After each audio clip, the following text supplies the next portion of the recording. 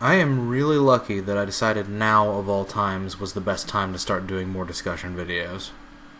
Very lucky indeed. Hey, what's up guys? Phoenix here. In this video we're going to be talking about a new card spoiled for release as a TCG exclusive for us in Raging Tempest. Now this is the newest piece of Spyral support that is coming out to us, like I've already said, in Raging Tempest. Now, we have two TCG exclusive archetypes that we're currently getting support for, Spyrals being one and Subterrors being the other.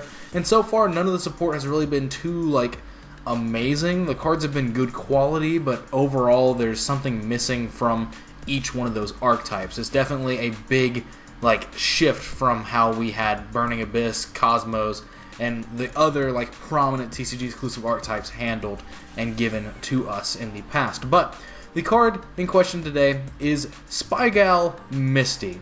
And so honestly, this card looks fantastic. This card artwork looks phenomenal. This girl looks so fresh. I'm so ooh. I, I love this artwork. It just looks so classy. But anyway, Spy Spygal Misty is a level 4 Dark Spellcaster type effect monster with 1500 attack, 1600 defense. And its effect is if this card is normal or special summoned, you can declare one card type, monster, spell, or trap, reveal the top card of your opponent's deck, and if you do, draw one card if it is a card of that type if you called it correctly. Once per turn during either player's turn, you can target one Spyral Super Agent you control and one monster your opponent controls. Return both monsters to the hand. Okay. Alright, here we fucking go. Why is Konami printing more cards like Majespecter Unicorn Kirin? Now, inherently, this is a two card combo, and thusly it makes it inherently weaker, but they should have learned by now that creating cards like that that are recurable monsters formulate some form of stagnation in the format. Now, all be so, all things so, said and told, like this is a card that has to exist on the board alongside Spyral Super Agent, and I will be damned if I do not know how you are supposed to maintain that sort of board presence, considering the fact that this card isn't even a Spyral. This card is Spygal. God damn it, it's not a Spyral card. It just directly supports Super Agent. I'm so upset with this nonsense. It's almost like Konami is scared to make archetypes that just work together non like no contest. I cannot understand. I am dumbfounded as to why this card isn't like treated as a Spyral because it would open it up to so many good support options. Now, that being said, it does kind of make Spyral Super Agent a bit too good, but it still requires a two card combo just for you to summon Super Agent and like get its effect off properly. And then uh, I'm just so confused. I do love the card though. Let's not get this twisted. Like I love the card strictly for what it does and for its artwork, but like mm, why did you not make it a Spyral? Or you could have kept it Spygal for the name, but just include that little line of text you like to put on certain cards that say this card is always treated as a Spyral card, or this card is always treated as X card. That way you have this thing supported by things like your Spyral equip spells like Big Red and shit like that, and oh, I'm just so upset.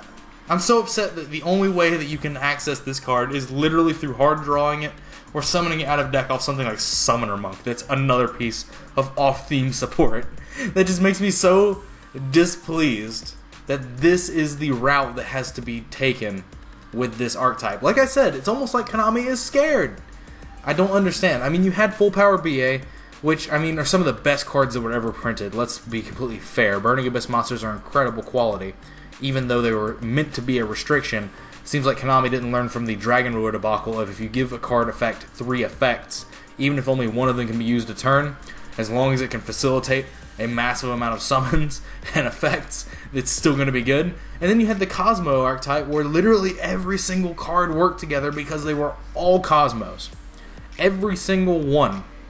I don't understand what's going on with their Spyral archetype. I think they're just terrified. I think that they've had way too much success with TCG exclusive archetypes, and they feel like they have to tone it down, which sucks. Because that means that it's really hard for you to actually make the deck function in the way that it's meant to be functioning. Because, I mean, you can't search this card with cards that search Spyrals. You can't summon it off cards that allow you to special Spyrals. So you can't advance your engine in the way that the deck naturally would like to. You have to literally hard draw this card, and then you have to summon it. And then that supports your super agent. Now, all all for well and told, this card does make super agent really really good because like I said, it turns it sort of into like a Majespecter Unicorn Kirin because it can basically pendulum summon itself. Let's be real here. Spyral Super Agent's effect allows it to put itself on the board rather efficiently and rather effectively. Especially paired with this, since you get to look at the top card of your opponent's deck and then summon your super agents. I mean, seems like a quick bit of synergy that's actually really, really good, but that's something that the deck needs if Konami wants a TCG exclusive archetype to continue to be relevant. It wouldn't be too overpowered or anything like this. None of the Spyral effects are like really that insane. Most of the cards that make the deck insane are off-theme support cards, like things like machine duplication for like sacky ass shit.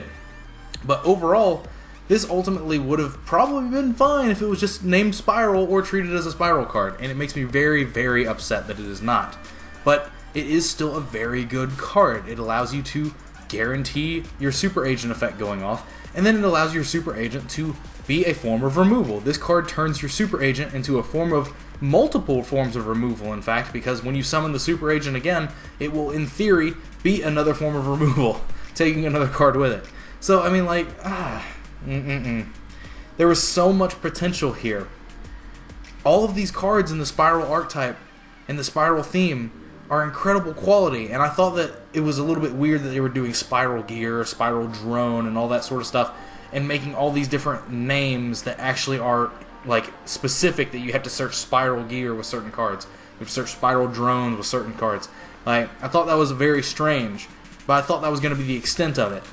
But now we literally have things like Charming Resort Staff, and we have Spygal Misty, and like these cards could have been very good for the theme, but unfortunately they are not directly supported by the stuff. They directly support the theme, but they are not supported in themselves. So man, I'm so upset because this card, I read its effect and I was like, this card is insane. This card's great. This is the card that's going to help make Spyrals an actual deck. And then I read the name again. And then I was disappointed. But anyway, as always, I want to know what you guys' thoughts are on this card in the comments down below. Do you love it? Do you hate it? Do you think it would have been too broken if it had been a Spyral name? Do you think that it's perfectly fine? What different ways do you think you're going to be using to abuse this card and get it out onto the board? I mean, honestly, the only thing I can think of is you hard draw it, you summon it off Summoner Monk, you can summon it off Call of the Haunted. You can't summon it back off of Big Red. And that makes me mad. that makes me fucking furious. You don't understand. But other than that, let me know what your thoughts are, as I've already said. But other than that, like, comment, subscribe to all the nonsense you usually do. Check out the links in the description if you want to see my Facebook pages and other stuff that I have linked there. As well as if you want to support me directly, you could always consider backing me on Patreon. Pledging even as little as a dollar a month just helps support me greatly and shows that you continually believe in my ability to improve and continue making content and it would definitely be something that you would earn my eternal gratitude for. As well as there's giveaways that are directly linked to that, so if you want to get in on those, definitely go check out that page. There's monthly giveaways that I'm doing, multiple of, as long as that page exists. So if you want to get on that, definitely, definitely go check that out. But other than that, that is it for this video. Thanks for watching. Thanks for your time as usual, and I will see you in the next video, guys. I, I need a fucking nap.